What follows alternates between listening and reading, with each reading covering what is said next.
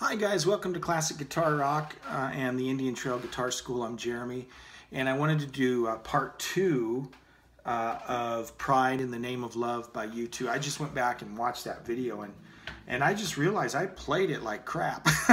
I wasn't even uh, I wasn't really even following the tempo too well. Uh, again, my focus was uh, was on the notes to play, but as I listened back, I'm like, wow, that doesn't sound very good. So at some point, I'll probably change it, but until then, I'll leave it up. Uh, but I wanted to go over the solo part here really quick.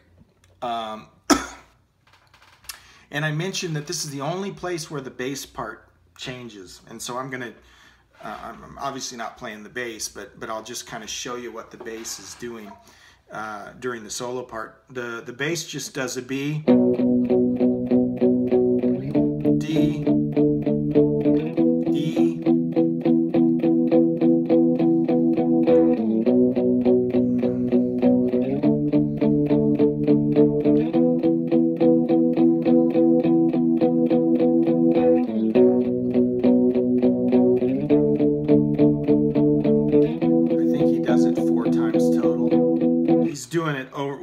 the guitar is doing that. I don't have the delay on. I'll turn it on in a second.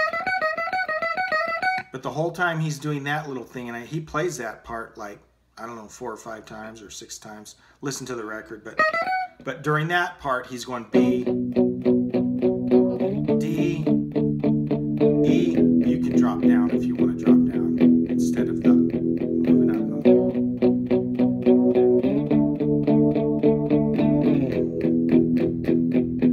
it's just B, D to E um, underneath the guitar doing that.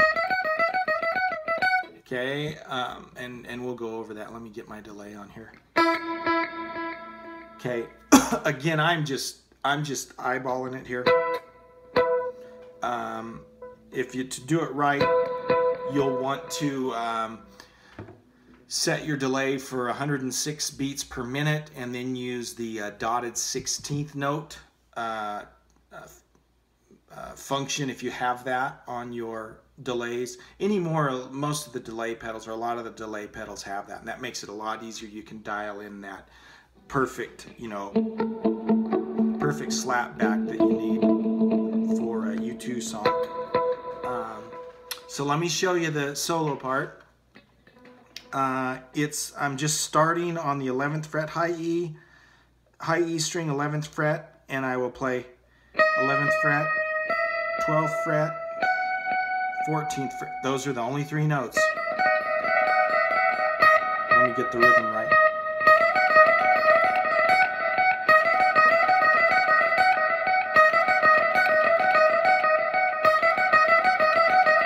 Okay, that's the first part. And we've got this B string, sympathetic B string as it's in this key of B. And you know, it's okay if you hit that every now and then. In fact, if you listen, you kind of hear a. Uh,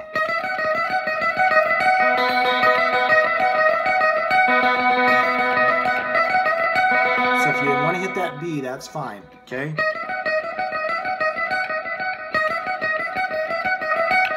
he does that like, man, like six times or eight times, a long time. And then um, and, and as I mentioned, that whole time the bass is doing the B, D, E underneath it, right? So that whole time that he's doing that figure. But then the bass goes back to the normal B, E, A, F sharp. And that's when the guitar starts doing this part.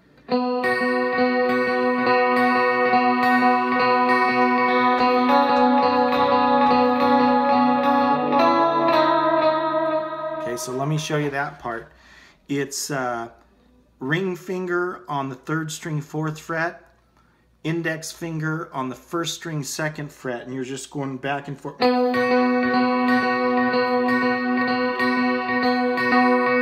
I did that? I'm just alternating from the third string to the first string. All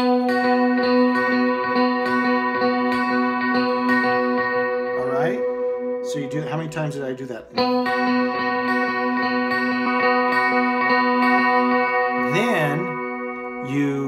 Uh, move your index finger up to the second string, second fret. Okay,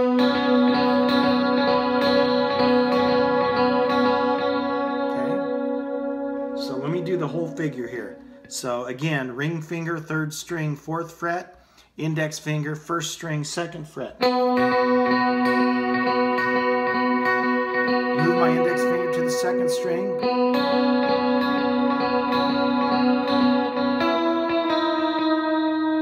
How that ends.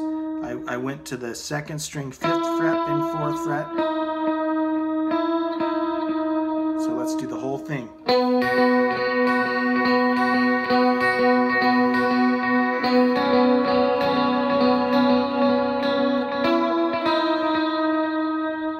Okay? That's what he does. And then he slides the whole thing up an octave. So I'm slide clear up to the, uh, what is that? 12, 13, 14, 15, 16th fret on the third string and 14th fret on the first first string. Same thing. My, my strings are old, so they, they're not intonating real well, but... Same thing, move my ring finger or my index finger up to the second string now and do the same thing at the 14th fret. Now when he's up here, he doesn't do this little thing at the end. You can if you want, but he just stays on this figure.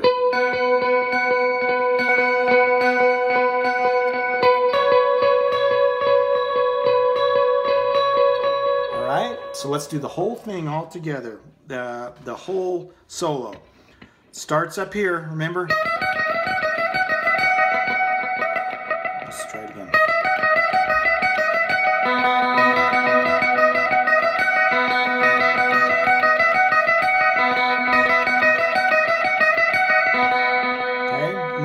Drops down to this part.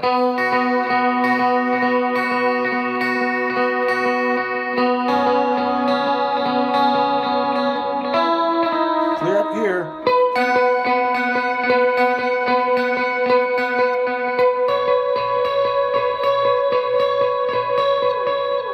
So that's the solo part. And you notice at the very end, he comes back and plays this part again. Think he does this part again too.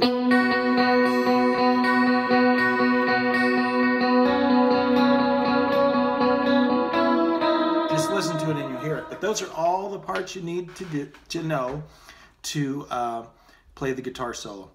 So thanks for watching. If you haven't subscribed yet, please do so, and we'll talk to you later. Bye-bye.